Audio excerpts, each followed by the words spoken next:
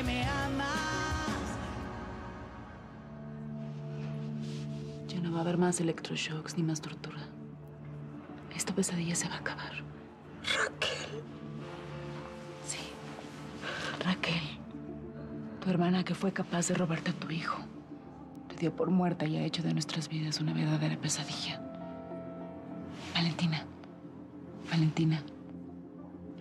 ¿Dónde está tu hijo?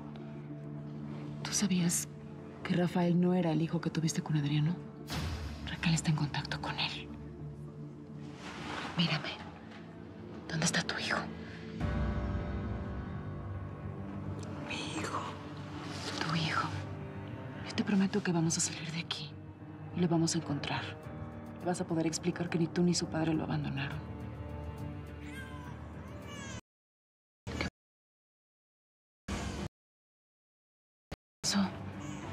¿Recuerdas a tu hijo? ¿Te acuerdas de Adriano? Es por ellos que no puedes darte por vencida, ni yo tampoco. Tienes una razón para salir de aquí.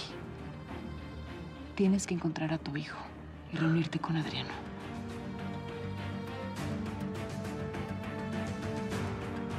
Se acabó el descanso. Todos a sus cuartos.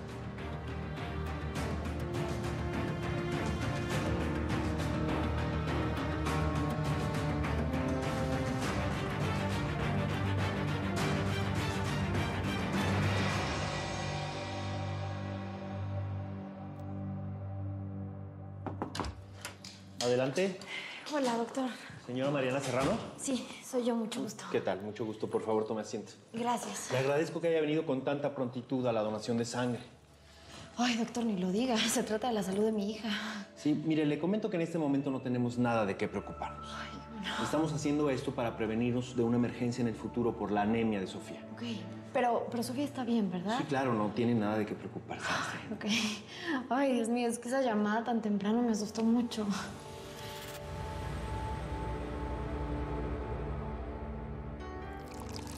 Estás irresistible como siempre, amor mío.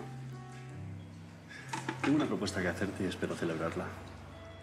Antes de celebrar nada, pues hay algo que debes saber. Y a lo mejor ya no vas a tener motivos para celebrar. Se trata de Mariana. Ahora me vas a decir que le tienes celos.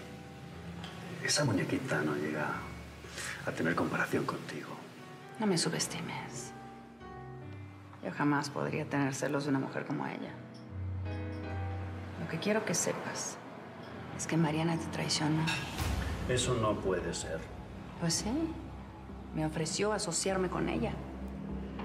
Quiere meterte preso para quedarnos con tus clientes. Mariana no se atrevería. Pues sí se atrevió. Iván, en la vida no hay que descuidarse. No hay enemigo pequeño. Creo que tendrías que eliminarla. No hay más remedio.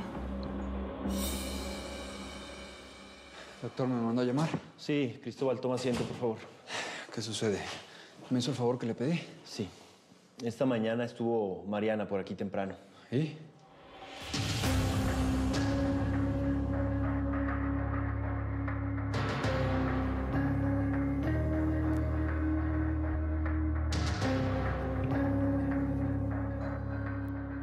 Mariana no haría nada en contra mía. Sabe perfectamente de lo que soy capaz. Parece que también sabe de lo que yo soy capaz. No dudó en pedirme ayuda para asociarse conmigo. Quiere deshacerse de ti. Tú lo que quieres es ponerme en contra de ella. Y sabes que esa es la mejor manera de ponerme furioso. Sí, sí, te conozco. Y sé que es la manera de ponerte furioso y que estés en contra de ella, pero. Pero no lo hice por eso. A los dos nos conviene que desaparezca. ¿Por qué? ¿Qué te ha hecho a ti? Pues es que mi hijo Eduardo la está volviendo a ver como una posibilidad amorosa. Estás obsesionada por controlar el destino de tu hijo. Dime por qué. Porque es lo que cualquier madre haría por sus hijos. Cuando seas padre me vas a entender. No lo soy ni lo seré jamás. No soy un hombre de familia. Pero tú, tú rompes mis esquemas, Raquel. Y por ti sería capaz de... ¿Matar? Deja a tus hijos vivir su vida, Raquel. Vivamos nosotros la nuestra. ¿Otra joya, Iván? Esto no es una joya normal. Expresa un sentimiento que va más allá. Tú me completas, Raquel. Quiero que seas oficialmente mi prometida.